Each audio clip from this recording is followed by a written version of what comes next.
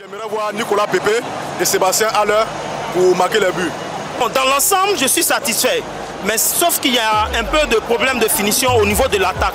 Mais j'ai confiance en l'équipe et je sais qu'il y aura un dénouement à la deuxième mi-temps.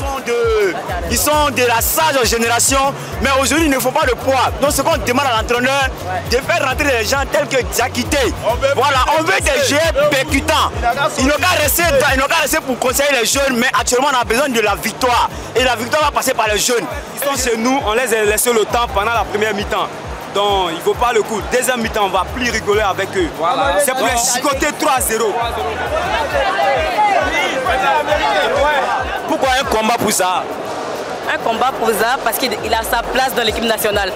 C'est un très bon joueur qu'ils ont exclu parce qu'il a, il a essayé de dénoncer quelques trucs dans l'équipe nationale. Ils n'ont pas aimé. Je pense qu'il devrait être là. Est-ce que vous pensez que ça manque à l'équipe ce soir là ah, S'il était là, ça là, il mettait 2-0. Là maintenant. C'est pour ça que je rends hommage à Aza. Tout simplement. Il faut faire ceux qui jouent là, le gardien. On les autres appellent les joueurs, mais celui-là, il ne veut même pas jouer. L'autre, il a fait son femme. Il a fait son femme. S'il te plaît, fais la place aux jeunes. S'il te plaît. Ici en sélection, on n'a plus besoin des vieux.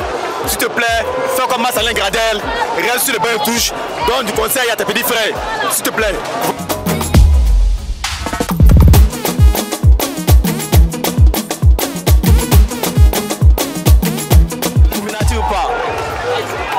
Pas s'il y a du pénalty, mais de, toutes les façons, l'arbitre, il est là pour ça. Il voit tout ce qui est là. Donc c'est pas nous de juger, c'est l'arbitre qui juge. Il y a supporter le poids. Il y a, tous les joueurs ici font le poids. On est venu supporter. Eux tous ils font le poids, à mouiller le maillot, à rentrer à la maison. En, toute logique, en toute logique, c'est un pénalty. Bon, la VAR pour intervenir là, dans les une minute qui suivait là, ils pouvaient intervenir, ils ont joué le match. C'est jusqu'à la balle, jusqu'à ce que la balle soit morte. Maintenant, vous appeler, vous dites quoi, l'arbitre n'a rien vu, genre les assistants n'ont rien vu. Va pour intervenir dans 13 secondes qui suivait, rien. Ils vont, je sais pas c'est quoi, c'est de la machinerie, ça, ça n'importe quoi. Parce qu'ils ne voient rien, ils voient rien. Ils ne voient rien, ils n'ont rien, rien, ils n'ont rien vu dedans. C'est que le début. On arrive pour la coupe début seulement. Je ne sais pas s'il y a penalty, mais en tout cas, il y a but. Vous allez lire l'heure.